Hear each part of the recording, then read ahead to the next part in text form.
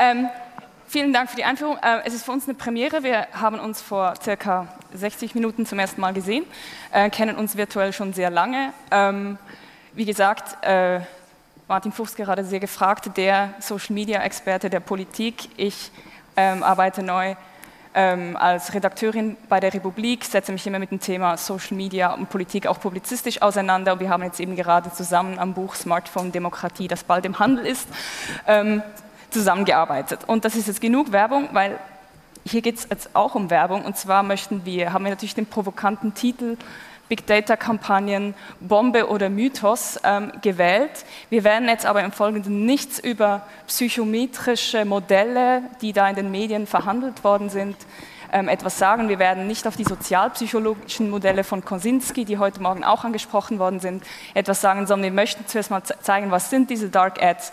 Einige Beispiele haben wir heute Morgen schon gesehen von Markus Beckedahl. Was sind diese Dark Ads? Ähm, wie kommen die zustande? Wie werden sie eingesetzt? Und warum ist das in dieser intransparenten Form ein Problem, in dieser unregulierten Form? Dann möchten wir noch, ähm, da wird Martin vor allem viel dazu sagen, wie können wir uns wehren? Also was können wir eigentlich tun? Sind wir dem jetzt ausgeliefert, ähm, diesem Facebook? Ähm, äh, Dark Ads Wahlkampf, ähm, vor allem auch in, mit Blick auf die Zukunft. Und ganz zum Schluss auch die Frage, braucht es ein Anti-Dark Ads Gesetz, das wir auch ein bisschen in den Raum stellen wollen, analog zum Netzwerkdurchsetzungsgesetz. So, jetzt. Schnell Pause machen.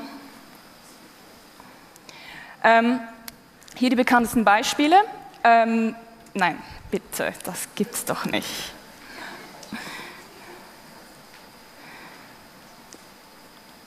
Nee, nee, jetzt geht's wieder zurück. So. Ist es jetzt? Jetzt ist Pause. Ich glaub's nicht. Jetzt draufdrücken?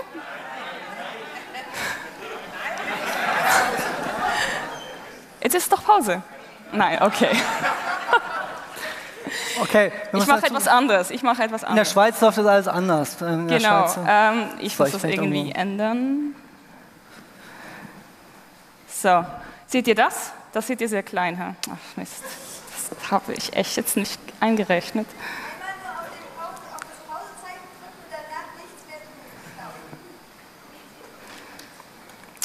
So, jetzt werdet ihr wirklich alle seekrank. Also, Pause. Jetzt. Okay, passiert nichts. Gut. Ähm, dieses Beispiel ähm, wurde also das mit Hillary Clinton, das war eigentlich, wurde sehr in den Medien verhandelt. Ähm, das war eigentlich so ein Teil der ganzen Demobilisierungsstrategie des Trump-Lagers. Und zwar ging es darum, Aussagen, die sie gemacht hat in den 90er Jahren gegenüber ähm, Afroamerikanern, ähm, wurden eigentlich aus dem Kontext gerissen, in ein Video verpackt und wurde dann gezielt an afroamerikanische User aus den umkämpften Gliedstaaten angezeigt. Ähm, das war eine Form von Werbeanzeigen, die gezeigt worden ist. Eine andere war beispielsweise eine Aussage, die Michelle Obama gegen Hillary Clinton gemacht hat 2008, als Hillary Clinton gegen Barack Obama angetreten ist. Auch das eine diffamierende Aussage gegenüber Clinton. Ähm, das war eben Teil der ganzen Demobilisierungsstrategie. Das Ziel war, dass diese Wähler nicht wählen gehen. Also nicht, dass sie Donald Trump wählen, sondern dass sie gar nicht wählen gehen. Jetzt könnte man meinen, dass ähm, Donald Trump im Amt mit diesen Werbekampagnen vielleicht aufhört, weil jetzt ist er ja, jetzt ist er ja im Amt. Ähm, man könnte auch denken, dass man das auch als Präsident nicht mehr tun darf. Das stimmt so nicht. Ähm, wie man sieht, das ist eine Anzeige, die vor etwa einem Monat ähm, in, auf Twitter kursierte, nämlich hat hier Trump ähm, eine, eine, eine, eine Werbekampagne schalten lassen, äh, die der sagt, dass er jetzt ähm, Teil einer Hetzjagd, einer Hexenjagd ist, ähm, die ähm, quasi im Zusammenhang mit der ganzen Russland-Untersuchung. Also man sieht, Trump benutzt dieses Instrument weiterhin und hat auch kein Interesse daran, dies zu regulieren. So, jetzt. Jetzt schauen, was passiert.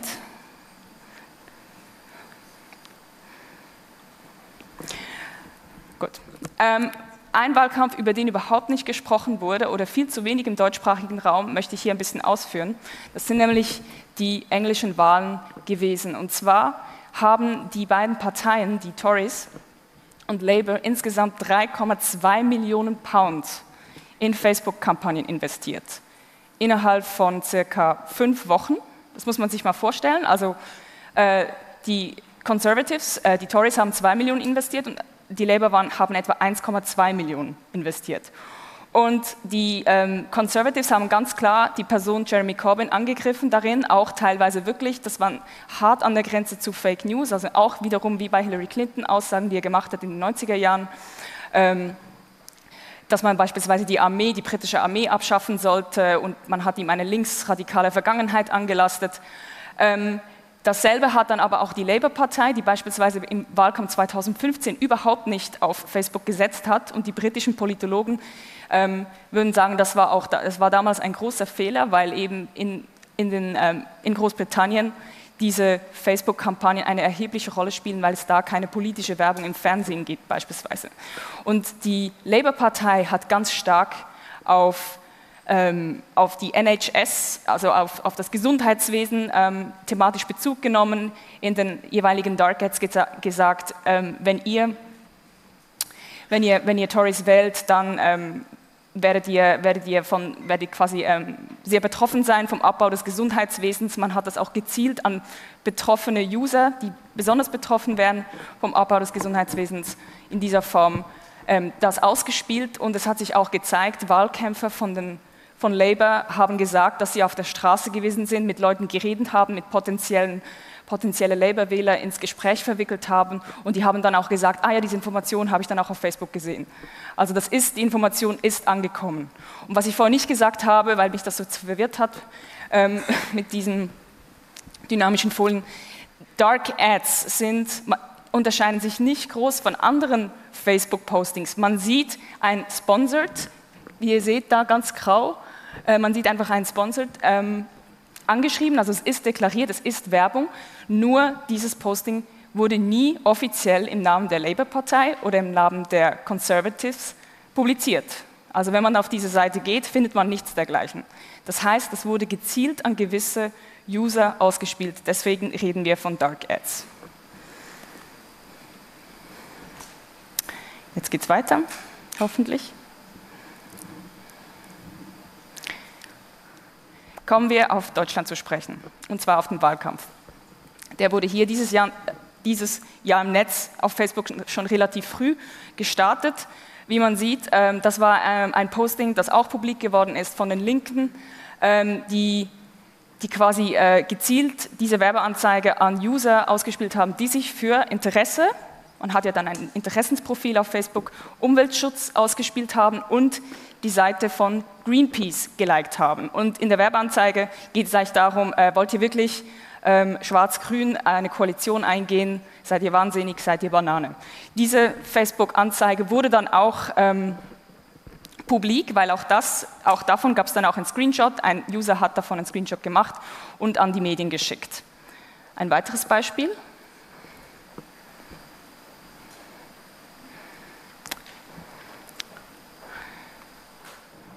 Ähm, dieses Beispiel äh, haben wir dank unserer Crowdsourcing-Aktion, zu dem Martin noch etwas sagen wird, ähm, die habe ich heute gefunden, äh, von ähm, einem User, der gesagt, ihm wurde eine Werbung von, von der FDP Schleswig-Holstein angezeigt. Ähm, man kann dann rechts oben anklicken, warum wird mir diese Werbeanzeige angezeigt, dann sieht man auch die Begründung. Äh, du siehst diese Werbeanzeige da, da die FDP Schleswig-Holstein Personen erreichen möchte, die sich für Computersicherheit interessieren. Jetzt, wie weiß das Facebook? Facebook leitet das ab von den Gefällt mir Angaben. Das kann genau sein, das kann aber auch total ungenau sein. Das sind einfach, diese Daten werden verdichtet. Und was ich auch interessant finde in diesem Zusammenhang, es gibt eigentlich sensible Daten, die eigentlich gar nicht so verarbeitet werden dürften, wie beispielsweise Gesundheitsdaten, das steht auch im deutschen Datenschutzgesetz, oder auch die sexuelle Orientierung. Nur stellt sich Facebook hier auf den Standpunkt, das bedeutet ja nicht, wenn die Person diese Seite liked, dass sie dann homosexuell ist oder nicht. Und das ist eigentlich so die, die, die Grundabwehr von Facebook.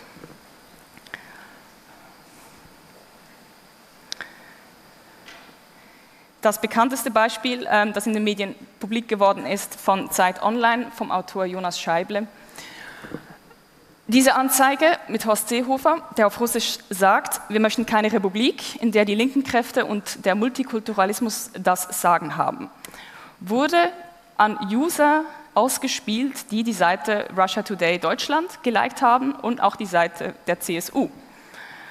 Ähm, als die CSU damit konfrontiert worden ist ähm, vom, vom, vom Autoren von Jonas Scheible, haben sie das sofort eingestellt und haben wirklich sich da nicht groß mehr dazu geäußert. Ähm, das, wurde, das kam eigentlich auch nur ans Tageslicht, weil auch das zwei Facebook-User dokumentiert haben durch einen Screenshot.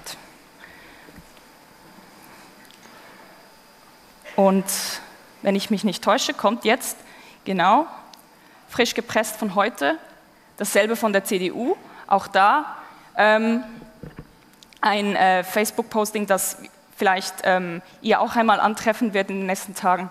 Ähm, auch hier sind Russlanddeutsche gezielt angesprochen oder Leute, die sich für die russische Kultur interessieren. So. Jetzt muss ich mal schauen, dass das nichts kommt. Genau. Ähm, diese Beispiele, die ich jetzt gezeigt habe, basieren wirklich auf den Gefällt mir Angaben, also auf den Interessenangaben. Es gibt jetzt noch eine andere Form, wie man Facebook-Daten nutzen kann, indem man beispielsweise seine eigenen Daten, also Parteien können ihre eigenen Mitgliederlisten ähm, hinaufladen auf Facebook im Werbeanzeigenmanager, diese verknüpfen mit den Facebook-Daten, die werden dann gehasht, das heißt, es wird ein es wird ein Code dieser, Dat dieser Datei zugewiesen, also dieser Datenzeile. Und dann hat man so die sogenannten Custom Audiences. Und soweit ich weiß, ist das beispielsweise in Deutschland explizit nicht erlaubt. Man darf diese personenbezogenen Daten, die beispielsweise die jetzt eine Partei hat, man, dürfte sie nicht zwingend beim Werbeanzeigenmanager hinaufladen und verknüpfen mit Facebook. Ähm, es gibt auch noch andere Formen von Custom Audiences. Ähm, man kann einen Facebook-Tracking-Tag auf der Webseite einbauen, dann jedes Mal, wenn, die, wenn ein User, ein Facebook-User auf der Webseite der Partei surft, wieder zurückgeht, seht ihr mit großer Wahrscheinlichkeit die Werbung dieser Partei. Ähm, dasselbe gilt auch für die Smartphone-App. Und ich habe das Ganze mal durchgespielt, das ist wirklich sehr beeindruckend. Ähm, es sind eigentlich, es gibt wirklich einen Abgleich, ein Match von den E-Mail-Adressen. Also wenn ich diese Datei hinauflade, gibt es ein Match mit den User-IDs und dann hat man diese Private Custom Audience. Also alle ihr, ich weiß nicht, ob ihr auch schon mit Online-Marketing zu tun habt, aber wenn ihr das mal durchspielt, das ist wirklich sehr beeindruckend. In Deutschland nicht erlaubt, ähm, in der Schweiz scheinbar schon, weil ich habe hier nämlich eine Anzeige entdeckt, in der das nämlich explizit ausgewiesen wurde. Ähm, wir haben eine Abstimmung im September, äh, geht es um die Altersvorsorge 2020, ein großes Reformpaket, beide Lager rüsten jetzt auf, haben ähm, begonnen, auf Facebook Werbung zu schalten, eine Kampagne zu fahren. Und man sieht, die Begründung steht dann jeweils, du siehst diese Werbeanzeige, weil dich äh, Ja zur Altersvorsorge zur gewünschten Zielgruppe hinzugefügt hat. Sie konnten dich mit dieser Werbeanzeige erreichen, da du in deren Kundenliste enthalten bist oder du deine Kontaktdaten auf oder außerhalb von Facebook zur Verfügung gestellt hast. Ich bin jetzt gerade in Abklärung mit dem eidgenössischen Datenschützer, ob das wirklich in dem Sinne legitim ist.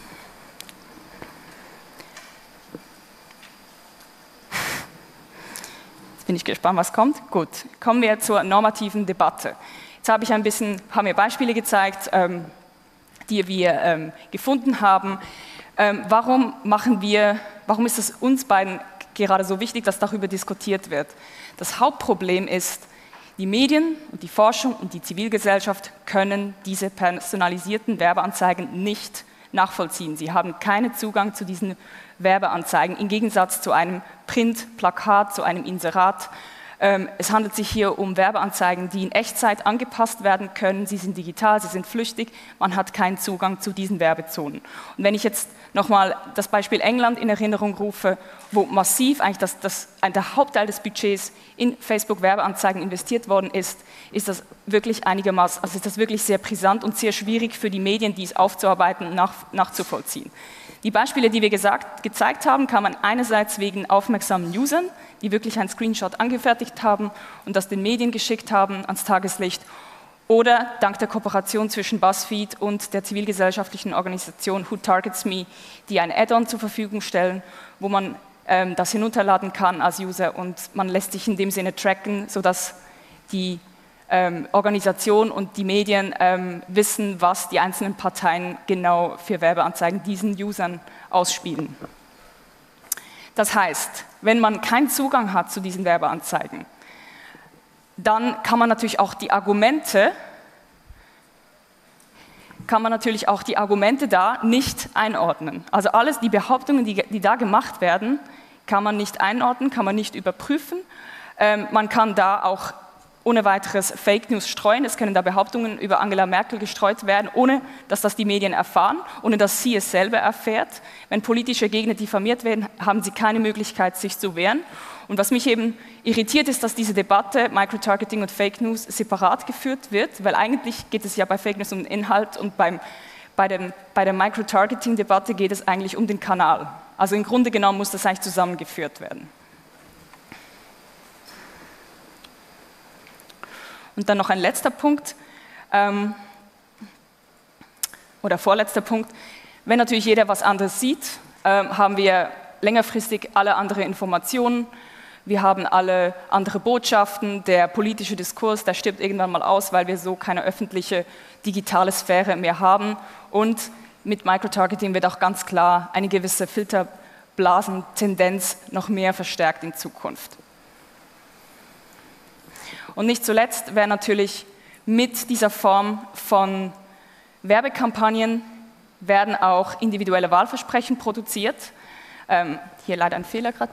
Werden individuelle Wahlversprechen produziert. Das heißt, je mehr das auf die einzelne Lebenswelt zugeschnitten ist, desto schwieriger, weil eine Demokratie lebt natürlich von Bündelung von Interessen. Also Parteien machen Angebote für Gruppen, nicht für die Einzelperson. Und es geht natürlich darum, dass wir auch einen Interessensausgleich finden können. Aber es wird natürlich immer schwieriger wenn wir uns alle in anderen digitalen Realitäten bewegen. Und jetzt noch der allerletzte Grund, warum wir hier so Dampf machen und warum wir denken, dass es wirklich, wirklich jetzt an der Zeit ist, ähm, dass ähm, etwas passieren muss bezüglich Regulierung oder bezüglich Transparenz, ist nämlich, diese Meldung ist auch meiner Meinung nach total untergegangen. Facebook hat Politikwissenschaftlern eine klare Absage erteilt vor zwei Monaten. Das Oxford Internet Institute wollte, hat angeklopft beim Forschungsinstitut von Facebook hat gesagt, hey, dieser Wahlkampf im Netz, das war eine regelrechte Kriegszone. Ähm, beim britischen Wahlkampf, bitte, bitte gebt uns diese Daten heraus, ähm, dokumentiert das in einer Weise, äh, damit wir eigentlich vergleichen können, was jetzt die Leute überhaupt alles gesichtet haben und was nicht. Und Facebook hat da in einer Reuters-Meldung Stellung genommen. Dieser Rob Sherman hat gesagt, nö, machen wir nicht, weil das ist, äh, wir brechen hier Geschäftsgeheimnis. Ähm, dass wir können da unsere, das sind, das sind Werbekunden, Politiker sind auch Werbekunden, ähm, da, da wird das Geschäftsgeheimnis brechen und wir machen für die Politik keine Ausnahme. Und warum es nach dieser Meldung keinen Aufschrei gegeben hat, das wundert mich, weil das zeigt, dass Facebook null Bereitschaft zeigt, hier etwas zu ändern. Und wie wir bei der Fake News-Debatte gesehen haben, wenn Politiker und die Medien genügend Druck aufbauen, dann lässt sich durchaus, kommt auch hier Bewegung ins Spiel. Und jetzt übernimmt Martin. Vielen Dank, äh, super Adrienne. Ähm, ich, ja, danke. Ich drücke, ich drücke hier. Okay, super. Äh, und das Schöne ist, das war von keine, keine wirklich nur eine Ansage für, für dass wir ein paar Klatscher bekommen. Ich habe sie mhm. wirklich gerade zum allerersten Mal kennengelernt heute. Und das Schöne ist, ich dachte, ja, Schweizer reden extrem langsam. Also sie hat wirklich äh, auch schnell geredet, ja. weil die Zeit ist schon ganz gut vorangeschritten. Und das ist auch mein Problem, weil 18 um 11 muss ich in der U-Bahn sitzen, weil ich nach Hamburg muss meine, meine Tochter übernehmen. Aber das nur an dieser Stelle. Das wird der kürzeste Auftritt, den ich hier auf einer Bühne hatte. Ähm, ähm, und ähm, nach den ganzen darken und dunklen Sachen, die Adrienne gerade gezeigt hat, möchte ich jetzt mal zeigen, was wir als Gesellschaft vielleicht tun können. Einige Sachen hat Adrian ja schon angesprochen. Ähm, und was mir vielleicht nochmal wichtig ist zu sagen, ich glaube selber persönlich nicht, dass es jetzt im aktuellen Wahlkampf schon ein Riesenproblem ist, Dark Ads. Ich glaube nicht, dass wir jetzt die Demokratie in Gefahr haben, weil das ist ja immer das, was Medien relativ schnell draus machen aus solchen Geschichten. Wow, Demokratie ist in Gefahr. Aber wir haben trotzdem ein Problem und das hat Adrian schon gut gesagt. Wir wissen halt nicht, was passiert. Wir kennen die Effekte nicht. Wir können jetzt nur mutmaßen, wir können irgendwelche Thesen aufstellen, Hypothesen aufstellen, können sie aber nicht verifizieren. Deshalb ist wichtig, dass wir darüber reden, deshalb ist wichtig, dass wir äh, aktiv werden. Und das war so ein bisschen ein Impetus von vor drei Monaten ungefähr. Ich glaube, Adrian hat mich über Direktnachricht bei Twitter angeschrieben und gesagt, hier, Martin, Dark Ads, Riesenaufschrei mit dem Artikel im Magazin, aber irgendwie ist doch nie was passiert in Deutschland. Oder macht da jemand was zu? Und da habe ich nö, macht keiner was dazu. Ich habe auch 18 Stunden Tage, mache auch nichts dazu. Dann los, komm, lass uns was zu machen. Und deshalb haben wir diesen Hashtag erfunden in fünf Minuten, Politik-Ads, ohne jetzt zu wissen, was daraus wird. Und haben Leute aufgefordert, über Crowdsourcing doch uns ihre Anzeigen zu schicken oder diese zu veröffentlichen bei Facebook, bei Instagram, bei, bei Twitter, wo auch immer, wo sie quasi äh, Werbeanzeigen angezeigt bekommen, damit wir da mal so eine Datenmenge bekommen. Und zwar natürlich auch relativ schnell bewusst, dass es eigentlich automatisiert werden muss. Dazu komme ich gleich noch. Aber das war so der erste Impetus. Und dann äh, hat mich sehr gefreut, dass zwei Wochen später dann auch die Algorithmen Watch ähm, äh, dann auch etwas Ähnliches gestartet hat, indem sie nicht versucht hat, Google etwas transparenter zu machen. Und ihr werdet das wissen, der eine oder andere von euch wird das Plugin vielleicht auch runtergeladen haben. Das ist das, die rechte Folie, die, die ihr da seht, ähm, wo man mal schauen wollte, wie personalisiert eigentlich Google auch uns Sachen anzeigt und wie wir da auch vielleicht in Anführungsstrichen manipuliert werden. Der Ansatz also sehr ähnlich, auch mal das öffentlich zu machen, das transparent zu machen, was halt nur der individuelle äh, Nutzer auch sieht an der Stelle. Deshalb fand ich das großartig, äh, dass Algorithmenwatch das mit den Landesmedienanstalten gemeinsam gestartet hat. Erste Ergebnisse sind auch schon publiziert an der Stelle. Und dann ähm, haben wir gesagt, okay, wir müssen das irgendwie automatisieren und wir müssen das größer machen und sind an BuzzFeed rangetreten und haben gesagt, hier wollt ihr nicht was machen, ihr wollt weg von den Katzenvideos, ihr wollt hin ein seriöses Politikjournal werden, wir haben hier was für euch. Und dann hat Daniel Trepper gesagt, super Idee und hat Who Targets Me ins Boot geholt aus UK, die da schon Erfahrung hatten. Und jetzt gibt es seit ungefähr zwei Wochen ein wunderbares Add-on, was jeder von euch runterladen kann, ähm, was genau das tut, was Adrian schon kurz beschrieben hat, nämlich ihr müsst gar nichts tun. Das äh, schaut sich dann nur automatisiert an, quasi welche Anzeigen euch in eurer Timeline quasi über den Weg laufen und sammelt diese Anzeigen und wir werden das dann gemeinsam auswerten und mal schauen, was da überhaupt die Parteien so alles äh, getan haben. Tut nicht weh, frisst keinen großen Speicherplatz, könnt ihr runterladen, keine Virus drauf, ähm, äh, dient der Wissenschaft, dient der Transparenz an der Stelle. Ähm, genau. Das ist jetzt quasi der, der erste Versuch, das mal automatisiert Daten zu erheben. Und dann kann natürlich jeder selber, der interessiert ist daran und der gerne wissen möchte, warum mir bestimmte Anzeigen angezeigt werden, auch diese Sensibilisierung ist ja bei vielen noch gar nicht da. Die wissen ja gar nicht, warum zeigt mir jetzt Martin Schulz, wie toll doch äh, sein Wahlprogramm ist oder warum zeigt mir die CSU an, dass ich äh, was äh, kyrillische Buchstaben. Man kann sich diese Interessen, die Adrian gerade schon gesagt hat, auch mal anzeigen lassen bei Facebook. Da gibt es die wunderbare Seite oder unter Writer bei Einstellung, warum mir Anzeigen angezeigt werden. Das ist so eine Interessenübersicht, was ihr links seht. Äh, äh, das ist mal meine Interessenübersicht. Ihr seht das, Instagram, change.org, die Usos, keine Ahnung, warum das so ist, aber neben den Likes, die ich vielleicht mal vergeben habe, wird natürlich auch mein Verhalten getrackt. Das heißt, wenn ich auf Seiten mal rumsurfe auf Facebook, auch das geht damit in die Interessen mit rein, zum Beispiel. Und das ist schon mal ganz interessant, weil man kann die da auch wieder löschen. Also ich hatte da ganz skurrile Sachen auch mal drin, Tango zum Beispiel oder ähm, Interesse. Das habe ich mal alles rausgelöscht. Ähm, und äh, das Zweite ist, dass wir in diesen Einstellungen auch dann auch schauen können, ähm, das ist gerade so ein Projekt, dass man auch bestimmte Werbethemen ausblenden kann. Also das ist gerade so eine Testphase von Facebook, die jetzt gerade läuft, dass man Alkohol ähm, und Parenting bei mir jedenfalls ausschalten kann. Das heißt, bestimmte ganze Themengebiete gar nicht für mich beworben werden können. Auch da kann sich quasi jeder schützen, wenn er keine Lust hat vor politischen vielleicht Botschaften, dass er auch da äh, gerne das ausschalten kann. Und ähm, da ein wenig, ein wenig äh, Macht immerhin an dieser Stelle zurückholen kann ähm, von Facebook an der Stelle. Und und dann äh, ist das natürlich ein Spielchen, was ich jeden Tag mache, weil mich das auch wirklich interessiert, dass wenn man in der Timeline unterwegs ist, kann man natürlich auf die Anzeigen, wie Adrian das gerade schon beschrieben hat, auch draufklicken, kann dann oben rechts gibt es so einen Reiter, kann sich anzeigen lassen, warum diese Anzeige mir jetzt in diesem Beispiel angezeigt wurde und kann dann auch das natürlich melden, kann das sogar Facebook sagen, ich möchte nie wieder was von der SPÖ angezeigt kriegen. Ich wundere mich auch, warum die SPÖ mir Anzeigen an, an, anzeigt. Ich darf in Österreich gar nicht wählen. Also da sieht man auch so ein bisschen die Schwächen des Targeting, was natürlich natürlich sehr gut ist und wo Facebook, glaube ich, auch viel schon äh, Vorreiterrolle hat und viel Erfahrung gesammelt hat. Auf der anderen Seite zeigt es natürlich auch, dass ähm, vielleicht der ein oder andere ähm, ähm, Zieldefinition, die man da eingegeben hat, gar nicht so richtig zielgenau ist an der Stelle zum Beispiel auch. Ja, und dann äh, für die Diskussion, die ihr hoffentlich gleich noch vielleicht führen werdet, ist natürlich die große Frage, die ich von Journalisten jeden Tag jetzt gestellt werde, Herr Fuchs, wir brauchen doch irgend so ein Fake News oder zum einen Fake News Gesetz das auch, aber auch ein Dark Ads Gesetz, oder? Wir müssen was gegen tun. Die Aktion, die Sie machen, machen, ist alles schön äh, und gut, aber eigentlich brauchen wir doch irgendwas, wo mal was reguliert wird. Und dann lache ich immer kurz in mich hinein und dann werde ich mein Lachen ein bisschen größer und dann versuche ich zu erklären, warum das vielleicht nicht die gute Idee ist, jedenfalls aus meiner Sicht. Wir können ja gerne darüber diskutieren, weil es natürlich nicht äh, national funktioniert, das haben wir heute bestimmt auch schon öfter gehört. Dass wenn, muss es ja global geregelt, werden. Und zum Zweiten habe ich auch fast den Eindruck, dass natürlich Parteien und öffentliche Institutionen, Regierungen gar kein Interesse daran haben, an, an so einem Gesetz vielleicht, weil sie, wie beschrieben, das natürlich auch sehr, sehr äh, gerne nutzen wollen, solche Möglichkeiten. Und deshalb äh, bin ich auch als jemand, der natürlich äh, Online-Werbung auch gestaltet, auch gar nicht dafür unbedingt, dass das schlecht sein muss, was da passiert, weil es natürlich auch sehr, sehr positive Effekte haben kann, Dark Ads auszuspielen. Ein Beispiel ist die Linke in Sachsen, was ich immer sehr gerne mache. Die hat zum Beispiel erkannt, dass ähm, es eine Schnittmenge der Wählerschaft zwischen AfD und Linke gibt. Also, wenn die äh, AfD wieder irgendwelche komischen Nachrichten verbreitet in Sachsen, nimmt sie ein paar Euro in die Hand und spielt dann genau den Faktencheck quasi in der Zielgruppe der 16.000 AfD-Fans in Sachsen aus. Also sie durchbricht ganz aktiv dann auch die äh, Filterblase der AfD-Menschen und zeigt ihnen quasi eine Gegenmeinung an und versucht so wieder politischen Diskurs herzustellen.